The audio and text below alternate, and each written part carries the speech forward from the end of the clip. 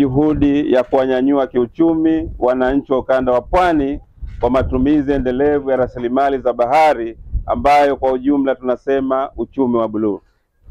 Tunashukuru sana viongozi wetu hawa wawili kwa kuliona hili kwamba Tanzania hususan ukanda wa Pwani ikiwemo Zanzibar tunaweza kunyanyua maisha yetu kwa kutumia rasilimali ambayo Mwenyezi Mungu ametujalia ya bahari ambayo itatutoa hapa tulipo na itupeleke kwenye sehemu nyingine ya kimaisha. Lakini pia kwa kipekee ni washukuru wenzetu wa TNC kwa kuona kwamba sehemu ya kufanyia miradi yao ya kimaendeleo mojawapo iwe ndani ya visiwa vyetu vya Zanzibar. Hili tuwashukuru sana, kwa sababu tukizungumza Tanzania ina maeneo makubwa ya bahari, wengeweza kwenda kufanya Mafia, wengeweza kwenda kufanya Kilwa, lakini wengeweza kufanya Bagamoyo, lakini isitoshe wakasema tukafanye Zanzibar, lakini Zanzibar pia kwa upande wa Unguja wakasema tuende kijiji cha Mungoni.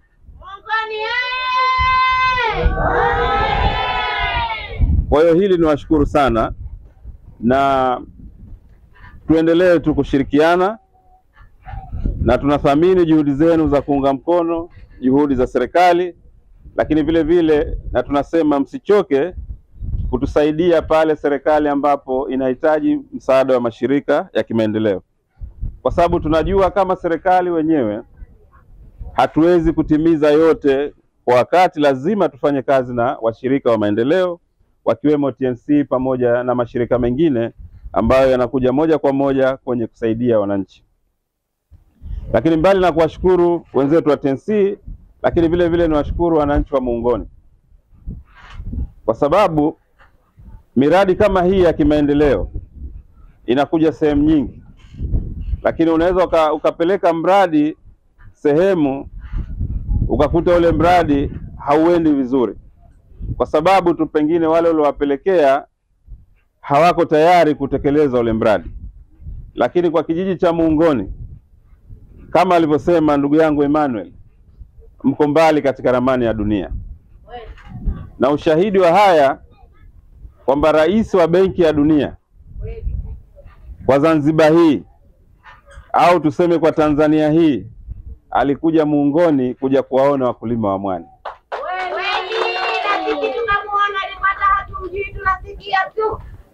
Kwa hiyo hii ni faraja kwa serikali zetu, lakini vile vile ni faraja kwa sisi ambao tunasimamia sekta ya mwani kuona kwamba jinsi gani wanakijiji wa Muungoni wanatuwakilisha vizuri katika ukulima wa mwani.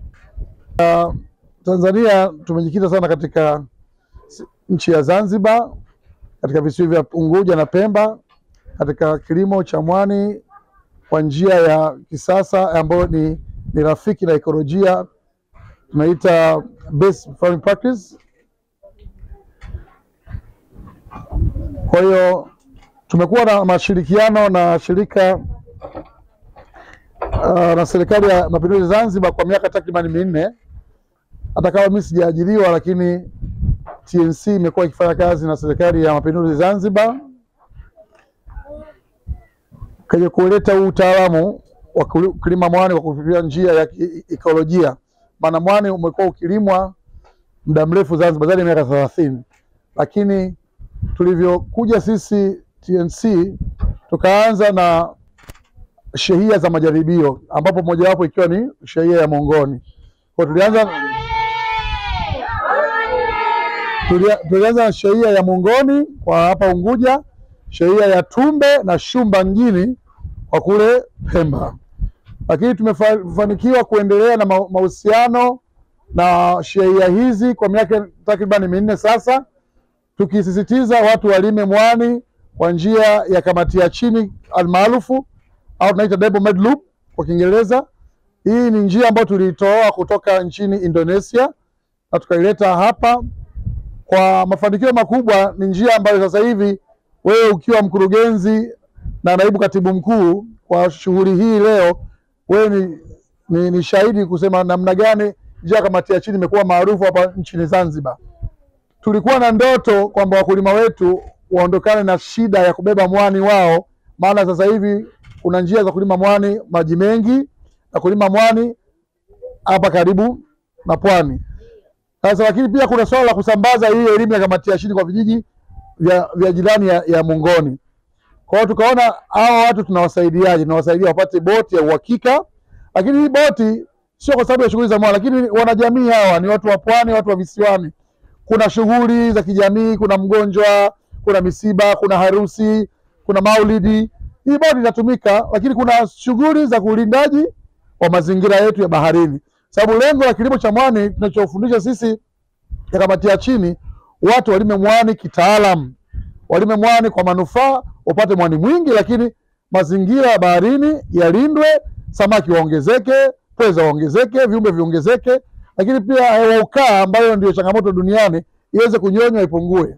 Na serikali ya Zanzibar, serikali ya Tanzania na nyinyi uh, wanakijiji na farmers kwa ile kazi mmekuwa mkifanya na mkifanya ile kazi mmekuwa mkifanya uh, na sisi kama TNC, na leo siku ya leo tumefurahia sana kufika hapa kupeana boti na hizo life jackets na nadhani itawasaidia sana kwa ile kazi yenyu mnafanya ya kuhifadhi mazingira. Serikali ya Mapinduzi Zanzibar kupitia Wizara ya Uchumi wa Bluu na Uvuvi kwa namna ambavyo wameendelea kutupatia support. Bila wao kuturuhusu kufanya kazi na ninyi eh, basi TNC huenda isingekuwa Zanzibar. Kwa hiyo tunawashukuru sana, na ninaomba salamu hizi zifike kwa viongozi wengine wa juu kwamba TNC inashukuru kwa mahusiano mazuri ambayo mnaendelea um, kutupatia tunapokuwa hapa Zanzibar. Pongezi, Muungoni inasifika na inajulikana huko nje kwa ukulima wa mwani. Kwa hiyo niwapongeze sana kwa juhudi zenu na ukulima wenu mzuri wa mwani ambao kimsingi unaiweka Tanzania kwenye viwango vya kimataifa. vipimo maalum ambayo mwanzo tulikuwa tunapanda mwani wa kawaida kabla hatujapata mafunzo haya. Baada ya kumaliza mafunzo haya, TNC ili tuahidi kutupatia vifaa vya kupandia mwani huo kama vile kamba, taitai, tepu, mizani pamoja na boti na mashine yake kwa ajili ya kuvunia. Pia TNC ilitutaka tuwape ujuzi huo na wenzetu ambao hawakupata mafunzo haya, jambo ambalo tumelifanya kwa asilimia mia moja. TNC ilitupatia vifaa vya kupandia mwani na, ku, na kututaka tuanzishe shamba darasa baada ya kupatiwa vifaa hivyo. Shamba darasa lilianzishwa tarehe pili mwezi wa kumi mwaka elfu mbili na ishirini na tatu. TNC oye! Mungoni safi! Shamba hilo lilikuwa na ploti mbili amba, ambazo kila ploti ilikuwa na urefu wa mita nane na upana wa, wa mita tano. Tunaishukuru tena TNC kwa, tu, kwa, kutu, kwa, kutufuatilia, kwa kulifuatilia shamba letu na kulikagua. Walilitembelea na kuona liko vizuri, hivyo walitupongeza sana. Shamba hilo lina washiriki thelathini ambao wako katika mat, matiiko matatu tofauti madiko matatu tofauti. Kutokana na usumbufu huo, tumeandaa mpango wa kuongeza shamba jingine darasa ambalo litakuwepo katika diko la Mkuku. Mkuku oye! TNC safi!